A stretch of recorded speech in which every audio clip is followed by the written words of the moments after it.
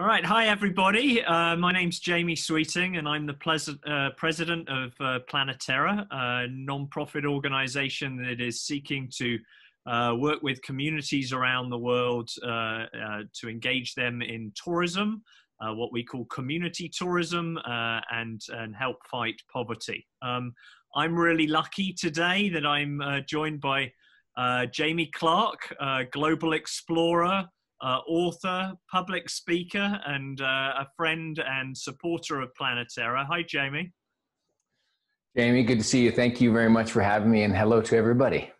Yeah, it's exciting to have you here. So, um, as you know, um, we are uh, just embarking uh, on uh, the Planeterra Trek Challenge, which is a, a virtual hike uh, to Everest Base Camp. Um, and those of us, our viewers, um, uh, the reason we've asked Jamie to join us today is that Jamie's actually, uh, as I understand it, Jamie, you've you've hiked uh, uh to Everest uh, on the Everest Base Camp hike about a dozen times. you've actually climbed Everest four times and, and reached the summit twice. Is that correct? yeah. Yes, Jamie, that is correct. Yes, sir. That, that just, yeah. I, I, I kind of need to say that again. He's he's hiked about a dozen times to Everest Base Camp. He's uh, uh, climbed Everest twice, uh, uh, four times, and, and reached the summit twice. And I, I, I just feel very blessed to, to have this conversation with you, Jamie, and share with, with our viewers.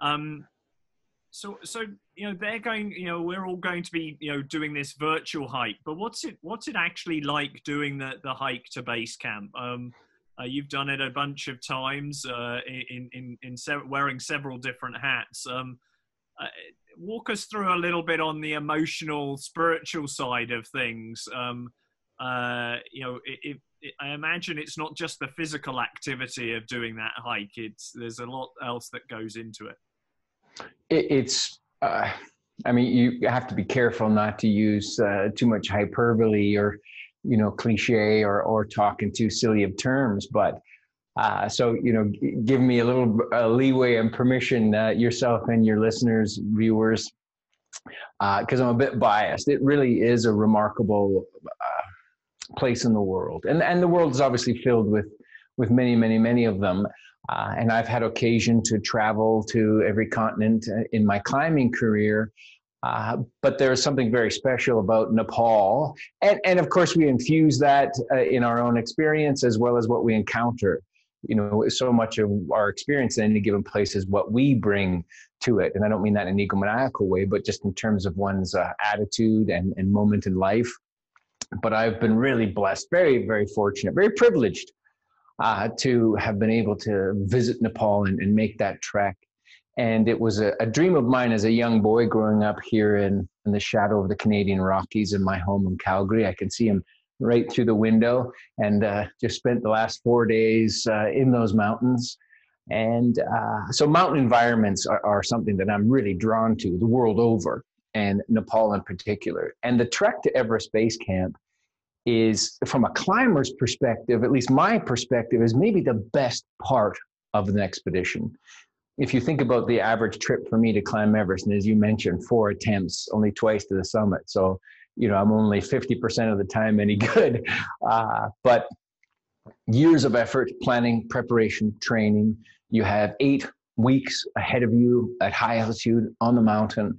And then you have this beautiful trek. You, you leave Kathmandu, and depending how you get to the base of the trail, a, a bit of a scary, crazy flight into Lukla, and then you, uh, you know, take up your legs and start walking.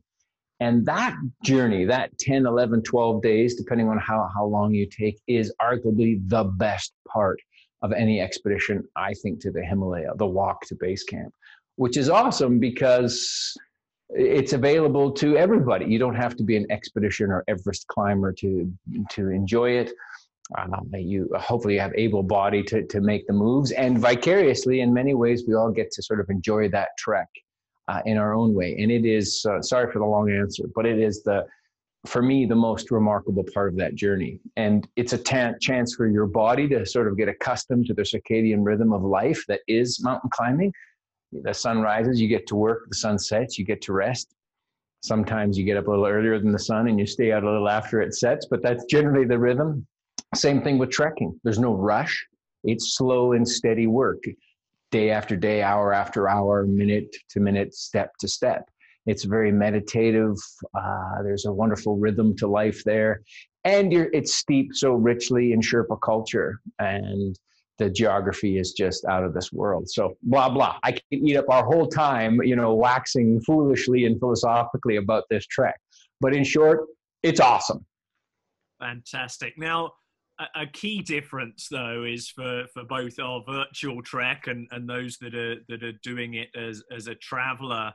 You reach Everest Base Camp and and you, you've read, you know, you you've reached your your your your destination. You're, you you know you've got the trek back, but you you, you obviously have the euphoria of of of an, an incredible experience. So, but for you, the, uh, uh, you know, on the climbing trips, you're just getting started, right? I mean, you get to base camp and it's like, okay, work's work's about to begin. Um, uh, talk talk to us a little bit about, you know, you know, as you say, a, a child who grew up in the Canadian Rockies and and and uh, certainly a, a mountaineer mountaineer of, of great repute.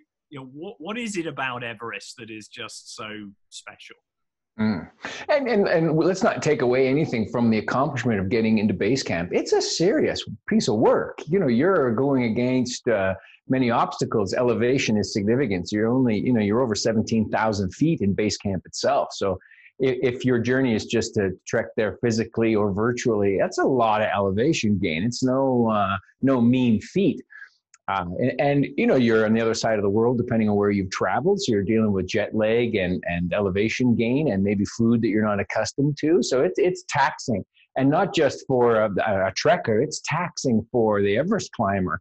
You know we're we're very diligent about staying healthy on that trek in not going too fast so as not to court altitude sickness you don't have to be at the extreme elevation to get altitude sickness you get above namche bazaar uh, these are little outposts in the valley that people become familiar with in the region. And you have to be thoughtful about how fast you go, how high you push your heart rate, uh, and how your body's adapting. So I've never been in there and just said, ah, yeah, no problem. We'll zip into base camp, bada bing. It's never the case. I, have had trouble at lower elevations below base camp on that trek with altitude sickness. So got to be smart. The, but you are right. Once you get to base camp, um, then you you know I guess you get serious about the climbing part. You've been serious about the adventure ever since you left Kathmandu, but now you're you know getting serious about the climbing portion. And Everest is, I think, in some ways, maybe one could argue that uh, the currency of adventure has been devalued as a result of commercialization, as a result of guided climbs, as a result of overcrowding there's a whole host of things, and that's maybe a whole other discussion for you and I to have. Um, but I tend to be a believer that you know these mountains that surround us, me here in Calgary and wherever you are in the world, whatever mountain range may be in proximity, or the Himalaya. I'm a big believer in use, conscientious, thoughtful human visitation.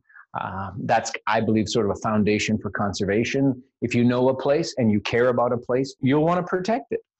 Uh, if you visit a, a, foreign land and understand the culture and know the people and care about the people, you'll want to help them, which is very much in part about what Planeterra is all about. So there's something pretty unique about Everest, and I don't care if you're the first or the ten thousandth to to kick your boots into the to a, the side of it. Uh, it's it's a, a remarkable place. It should be respected um, when things go wrong, they go wrong really badly. So it's uh, it, it's it's no slouch of an effort, and it was something that caught my imagination as a kid. I read books about adventure as a kid, and if you have any interest in adventure, somehow a mountain has to factor into it. And if any mountain is on your mind, whew, Everest is going to show up somehow. So it's just this iconic, powerful place on the planet and it uh, it attracts the the adventurous heart. So, I mean, I've had the pleasure of, of both, you know, reading your book and uh, and and seeing the film uh, made about your your journeys to to Everest. And I think one thing that really stuck with me is, I mean, there's obviously, uh, uh you know, summiting Everest is is you know, there's endurance, there's planning. There's there's um, a, a, whole management team to to get the whole expedition together. Uh, there's the physical nature of it, but there's uh, a certain sort of spiritual nature that, that comes through in, in, in, in your work. And, um, and, you know, obviously a lot of what Planeterra does is working to support um, the livelihoods of, of local people. And, and the role of the Sherpa seems something that, I, I mean, I, I've read other books about Everest and, and, um, and things like that, but in your work, the, the role of the Sherpa and how important they those friendships have been to you was something that really jumps out. Can can you share a little bit with our audience about, you know, what what the role of the Sherpa is, both you know in terms of the the general trip, but but to you personally. Yes, well, I think um, I have much to be grateful for and indebted to, and when it, when it comes to the Sherpa community uh, I think in the beginning of my career, and and you know, the honest reality was it was a very egomaniacal pursuit. Whether it was climbing these mountains here, very destination oriented, very much about the summit. And I, I don't think one can use, uh, you know, being in your early 20s as an excuse for being a selfish jerk, but maybe a high performance or high achievement requires at least some of that in the recipe. Uh, but but I think if you trade on that constantly, it, it ends up in a very uh, destructive sort of life life path. And so even though in the beginning I was very much about the accomplishment, about the destination, I think traveling and having occasion to travel around the world taught me the value of the journey. And thus, you know, my cliche warning: it's not the destination, it's the journey which is true. However, you know, I when I didn't make it to the summit of Everest the first two times, I was pretty fired up about the destination. So, as in life, it's kind of a mixture of both, isn't it? One flows into the other, journey and destination, whether that's base camp or whether that's a summit. And what I think influenced that understanding was my time with the Sherpas, being able to just have this realization that there was such joy in my friendships and spending time with them. Miles from the summit. You know whether we were drinking some chang um, which you know do so in moderation and usually only on your descent. Uh, it's a sherpa beer made of rice. Uh, it, it, can be quite, quite strong in large quantities especially at high altitude. There's a warning you know one drink at sea level is you know four at high high elevation so you're warned. Uh, you know sitting in a sherpa home and meeting family and being welcomed in and then uh, the occasion to go back and go back again and go back again and those relationships deepening. And it really showed me that the, the summit's value over time diminished in comparison to the overall experience and it was that overall experience that seems to be uh, kind of flipped on itself where the summit was just really the excuse right trekking to everest base camp is just kind of the excuse to have this amazing experience, not just while you're in country, but prior to your departure. You know, you've set this goal for yourself. That means you need to be fit and prepare, and you're going to make better food choices and be more thoughtful uh, uh, about your life leading up to the trip and making decisions to budget for this because it can be expensive. It is expensive. And making priorities. Do we get that new couch or do I take this trip? Do I want a richness of things or experience? and and all of that was i guess a transformation of you know 25 plus full-time years of doing of, of global travel and the sherpa culture was really in the early 90s when i was first in uh, nepal and tibet and spending time with them that i began to realize that. And so i owe them a tremendous amount for that sort of personal development even though it wasn't by design it was more by accident. And as a result of that i have you know to speak of travel in spiritual ways, it can get corny really quickly, but uh, I think you'd have to be nearly uh, some sort of a robot to go off and have a difficult experience and engage with a culture like the Sherpas and not somehow be profoundly impacted. And so, not only were they, you know, climbing teammates, um, but they became friends.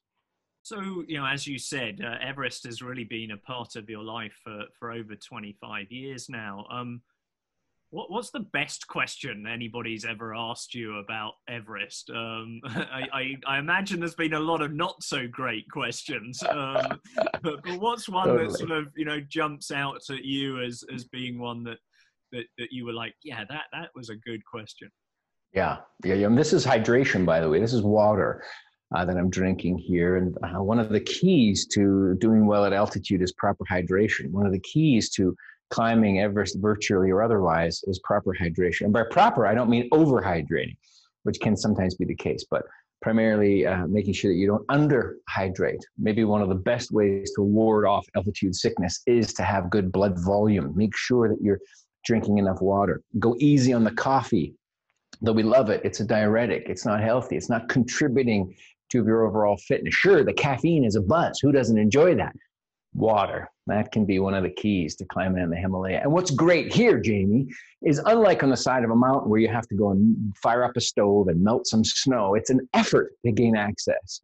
For many of us watching this, listening, we can walk to a tap and pour it out. It doesn't even need to come out of some fancy bottle that we've paid ridiculously for. Uh, tap water is delicious. Drink it up. I will descend from my soapbox. and uh, you, when you ask me what's the best question, you know, it's, that's what triggered that idea.